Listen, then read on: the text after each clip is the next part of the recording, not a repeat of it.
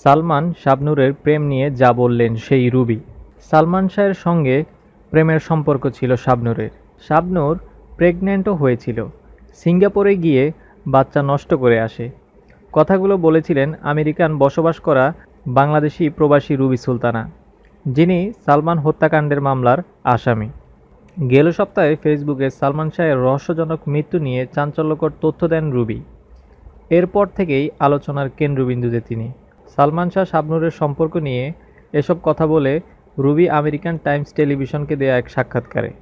তবে কথাগুলো তিনি বলেছেন সালমান শাহর স্ত্রী সামিরার বরাত দিয়ে। সামিরা তাকে শাবনুরকে নিয়ে সালমান শাহ সিঙ্গাপুর গেছেন, সেই প্রমাণস্বরূপ পাসপোর্টও দেখিয়েছে বলে দাবি করেন রুবি। এর আগে ফেসবুকে লাইভে এসে রুবি নিজেকে মানসিক রুগী বলে দাবি করলেও টাইমস টেলিভিশনে দেয়া সাক্ষাৎকারে তিনি বলেন, আমি আসলে পাগল না। বাঁচার জন্যে নিজেকে পাগল বলতে বাধ্য হয়েছি। আমি যদি ভালো বউ না হতাম, তাহলে ফিলোডেলফিয়ার কি আমাকে খাওয়াতো? আমি আমার স্বামীর হুমকির মুখে নিজেকে পাগল বলেছি। আমার মনে হচ্ছে আমাকে খুন করা হবে। তারপর পাগল মানুষ সুইসাইড করেছে বলে চালিয়ে দেওয়া হবে।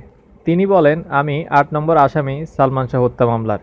আমি জানি না আমাকে কীভাবে ফাঁসানো হবে। যে দেশে একুশ বছরও একটি হত্যা মামলার বিচার হয়নি, সেখানে গিয়ে নিরাপত্তাহীনতায় ভুগব এটাই স্বাভাবিক।